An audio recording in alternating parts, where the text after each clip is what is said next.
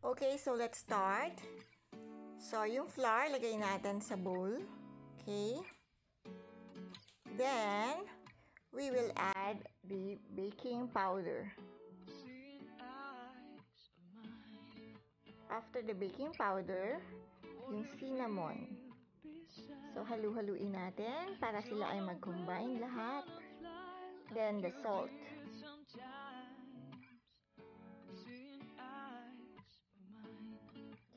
So halo lang ng halo.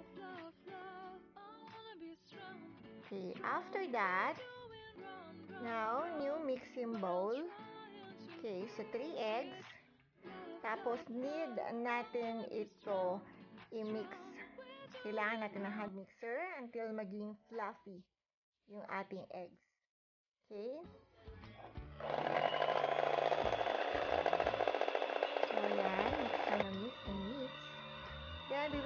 Gradually the sugar. You can use brown sugar or you can use the white sugar. Pero ginamit ko lang yung medium lang na brown sugar. Then, mix, mix, mix, mix. Then, add the melted butter. Okay. After, you can now add vanilla. Vanilla, para masarap, sarap. And yung amoy ng vanilla kasi ma- masarap din sa amoy ng mga cakes. Okay. After that, ilalagay na natin yung ating wet mixture doon sa dry mixture. So, ifo-fold lang natin yan.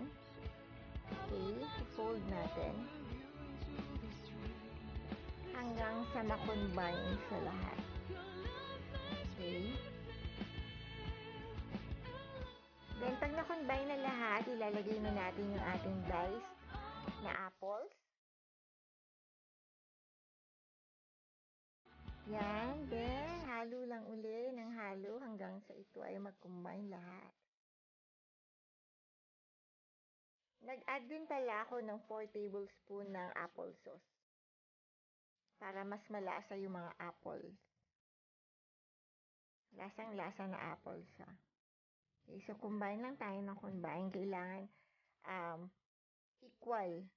Wala ka na makitang mga flour na buo-buo.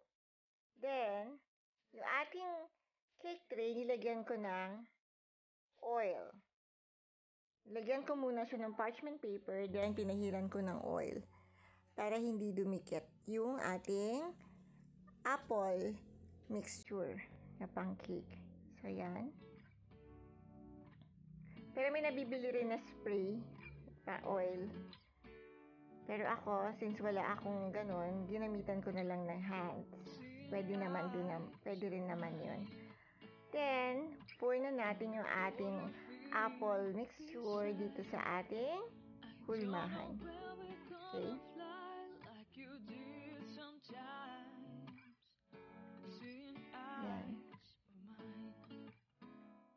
Amoy na amoy yung apple and cinnamon.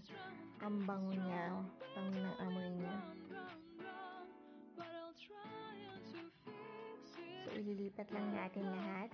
Sayang, iba. So, kailangan simutin natin. Okay. Then, so flat lang natin to. Lang natin siya.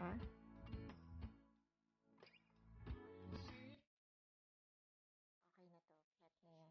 Flat na yan. Now, kailangan i-pre na-preheat ko na yung oven ng 170 degrees. Okay. So, pasok na natin yung ating cake. Then, lulutuin natin siya ng 40 minutes in 170 degrees Celsius. So, that's it. Yan na siya. Nasa loob na siya ng oven. After 10 minutes, yan yung itsura niya. Now, after 40 minutes, yan na. Luto na ang ating French apple cake. So yummy. I hope you guys will try it. It's very delicious.